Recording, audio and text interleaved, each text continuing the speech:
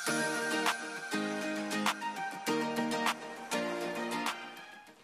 you! Welcome back to my channel and kakatapos ko lang nung aking almost walang kwentang makeup video tutorial and slash makeup haul. And today, I'm going to give you tips on how and which documents to include if you want to apply for a work visa in New Zealand based on your partnership. Uh, disclaimer, this is just a reference on how we prepared our documents and also these are based on my research. This video will cover tips on writing your relationship timeline, examples of documents that you can include as evidence of genuine and stable relationship, financial interdependence, evidence of contact, and important points to include when making the support letters from your family and friends. And also, um, the sponsor or the supporting partner's documents. So first is the relationship timeline. I found it awkward when I was writing our relationship timeline kasi for me, it's kind of difficult to talk about feelings. But then, it's very important na your letter is genuine and heartfelt. And you need to communicate that feeling sa taong nagbabasa ng application nyo. It's vital to cover the key aspects of your relationship, including your household, finances, and social aspect. To make it easier and organized, you can make a legit timeline of significant events that happened in your life. Like just gather everything that you can think of and then i-arrange nyo la- and i-arrange nyo na lang chronologically. Some of the information you can include are when and how you first met, when you started dating and officially classified yourself as in a relationship. Third, how you develop into having a relationship. Gets, ang gulo ko doon. Pero, paano kayo napunta doon?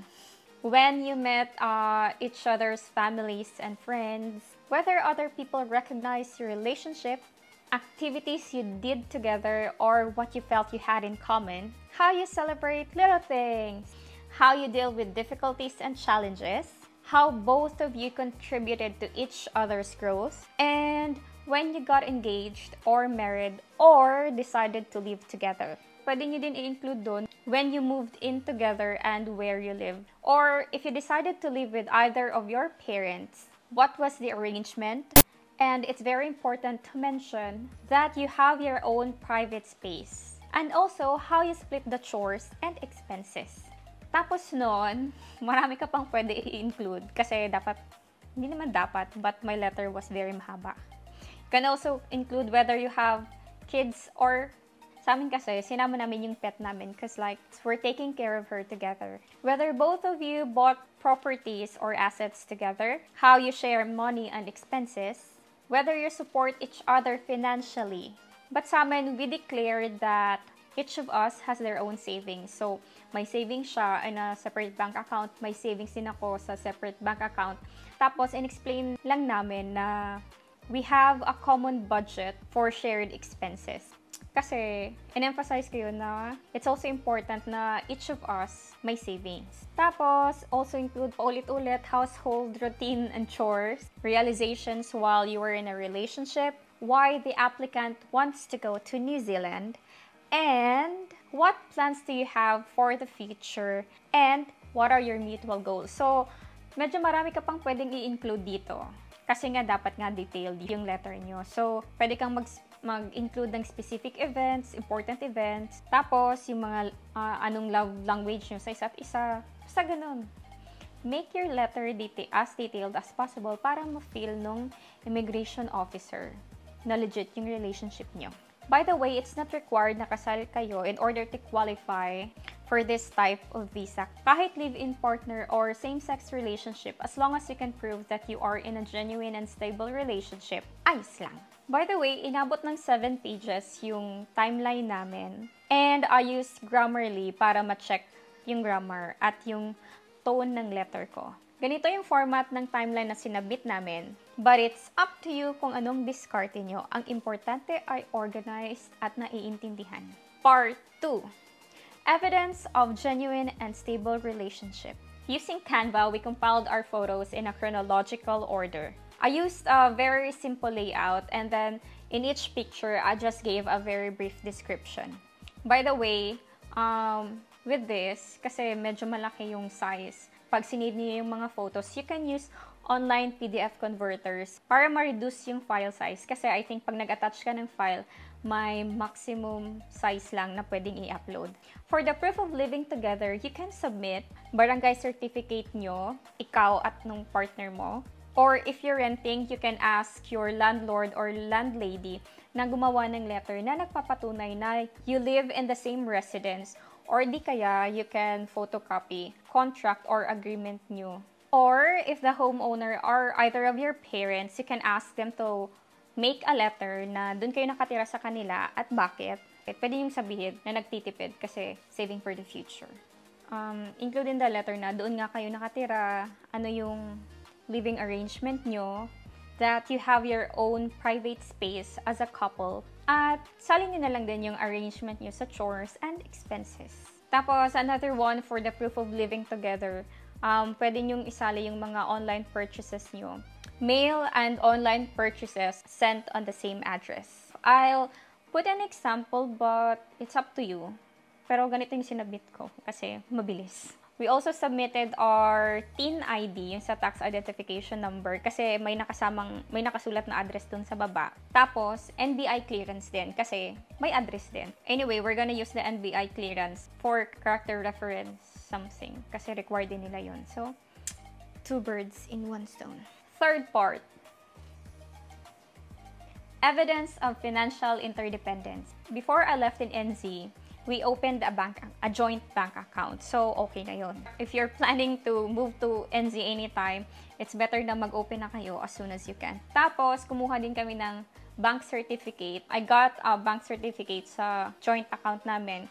Meron din siyang bank certificate sa own bank account niya, tapos sa own bank account ko din. Um, we also included the receipts of credit card bills, of my credit card bills na siya ang nagbayad. Di ba pag nag-fill up ka ng resibo, pag magbabayad ka sa bangko, meron nakasulat doon kung kaninong account yung babayaran mo at account number, tapos sinong nagbayad. So, we attached a scanned copy of that. Tapos, remittances din. For example, kung nagpapadala ko from here to there. Kasi nagpapadala ko for my doggy doggy Maxi.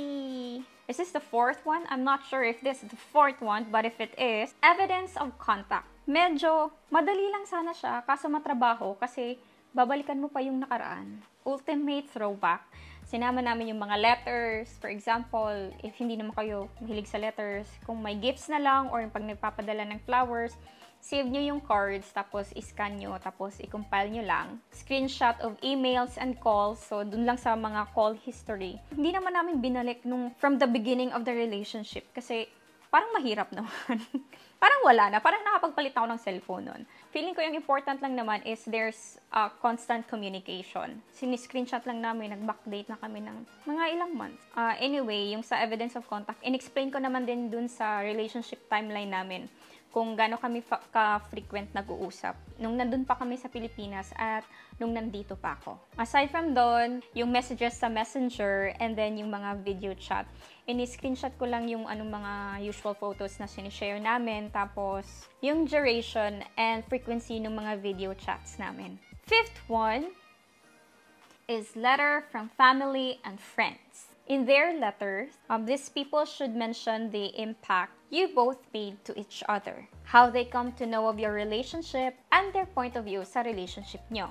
These are some of the information that your referee needs to cover in a relationship support letter. Hindi naman need, but it's up to you. State the writer's relationship to you or your partner and explain how you know each other. Like, ikaw at ng friend mo, how you came to know each other. They should confirm that you are in a genuine and stable relationship. This is the key to success. Genuine and stable relationship. The third one, if relevant, confirm that you are living together and for how long. Another one is how they were first made aware of the relationship, like specific description of events or dates. They can also give details about what they know about your relationship. For instance, trips or events that you attended together. So, medyo relevant din siya sa previous one. And finally, your referee, referee, referee. Basta kung gets nyo, okay na. they should include their contact details in case gusto silang interviewin ng immigration officer and ask them questions. You can secure a letter from both of your parents and at least one from each of your friends. And part 6. This is the last one. Documents from supporting partners. Sa amin, that would be B. Sinama ko lang yung um, a copy of my visa, job offer, pay slips, yung credit card statements ko, tapos yung um, bank statement ko dito sa New Zealand, NBI, and Saudi clearance, kasi I worked in Saudi before, for character reference. And lastly, I would suggest you create a cover page to make everything organized para di sila mahirapan maghanap. Those are my tips in composing your letters and compiling your proofs. If you have any questions, let me know in the comments section and I'll do my best to answer them. Or if I can't answer them, maybe the people who knows the answer will. So, that's it for today. Thank you for watching my video. Bye!